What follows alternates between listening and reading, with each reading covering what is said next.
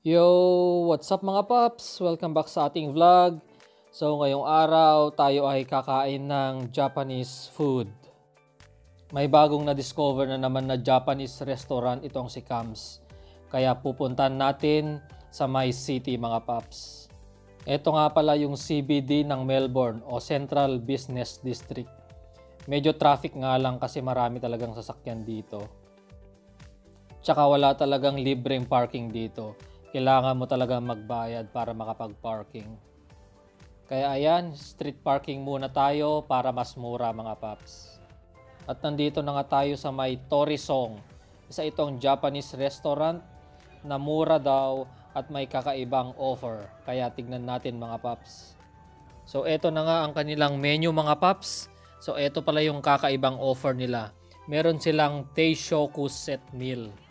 So yung Teishoku set nila meron na itong main dish, may pickle, may kanin, may soup, at may dessert na rin. Kaya tawag nila dito ay balance meal daw. So bali ang pipiliin mo na lang ay yung main dish mo. Pwede kang mamili ng hamburg steak, pork katsu, teriyaki pork ribs, char grilled eel, tsaka assorted na sashimi.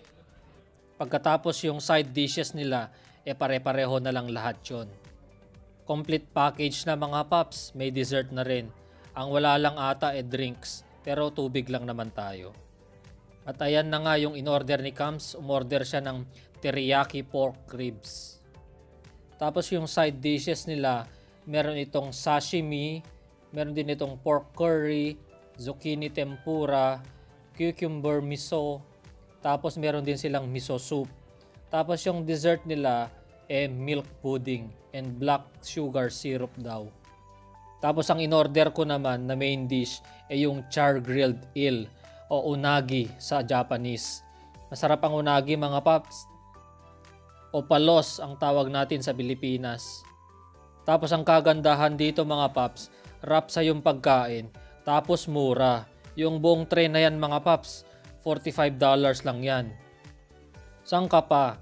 Mura na, Rapsa pa.